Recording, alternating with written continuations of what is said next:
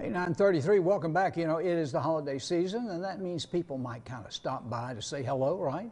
And if they do, they might want to have a little snack to be served or to serve others to give us a little bit of help on putting those treats together. We've got uh, uh, Christen Clinkscale. Yes. I know some Clinkscales. Christen, you're going to tell us about uh, Wisconsin cheese and, of course, only 175 years of making cheese in Wisconsin. I know, just a few years. So they've got a little bit of experience under their belts, right? So uh, you could, we could call you a cheesehead.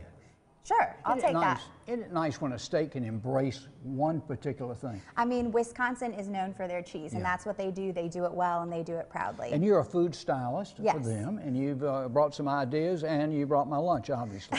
Yes, I brought some snacks to share with everybody.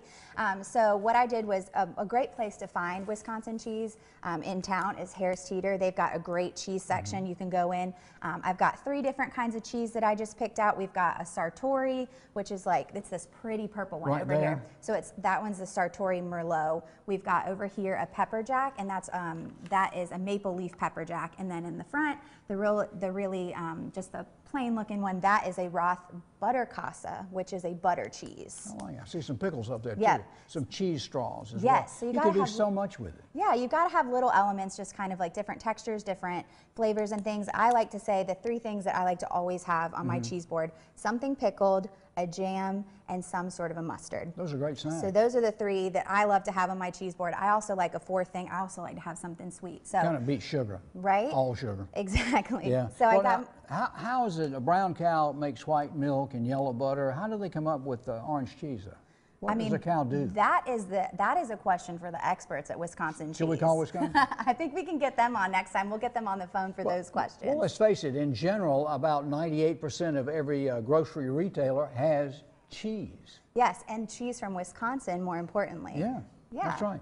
All right, tell me some more items we can look into for Christmas. Yeah, so I love to go and grab local items too when I'm filling my cheese board. So I went over to the Swamp Rabbit Cafe. I think they've got that grocery store has the best selection of local things. So I got some local cheese straws.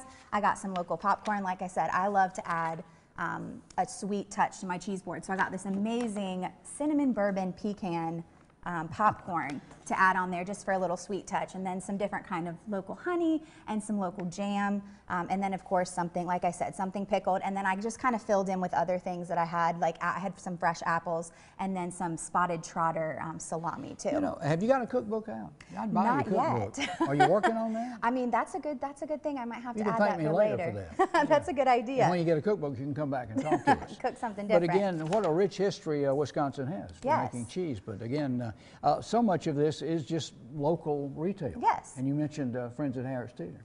Yes, so our friends at Harris Teeter sell a lot of Wisconsin cheese, but then again, I love to do the local too. So basically, I think the best thing to do is go and look in your pantry to see what you have, and then go find something somewhere local to kind of fill in those different gaps that you might need to have. Well, I see something I could eat for lunch. In fact, I love love honey.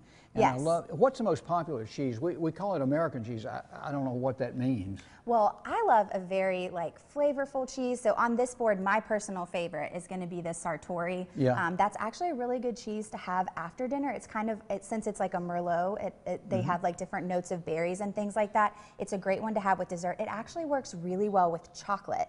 I know that sounds weird. no, that doesn't sound weird. but yes, so that one works really well with chocolate. So I like something that's like has a lot of flavor and things like that. But another really one of the other really good ones we brought was that butter cheese. Mm-hmm. That one is so mild. You can really pair it with anything on this board. So you can put it honey on top of it. You can put some of this really awesome mustard. This is one of my favorites. It's from Due South. It's their drunken mustard. but that's my favorite. I love to put that Very with good. all my cheeses. Well, my favorite would have to be sharp cheddar. That Sharp would be cheddar. my favorite. that's a good one too. Have you ever heard of cheese on a piece of apple pie with uh, ice cream? I have heard that. I think you can You- do. You can actually do um, put cheddar cheese into your pie crust Yeah. when you make apple pies, and that's Well, a really good addition. It addition. goes a long way. Good tasting cheese from Wisconsin. And we've got Christen with us, uh, a Clinkscale.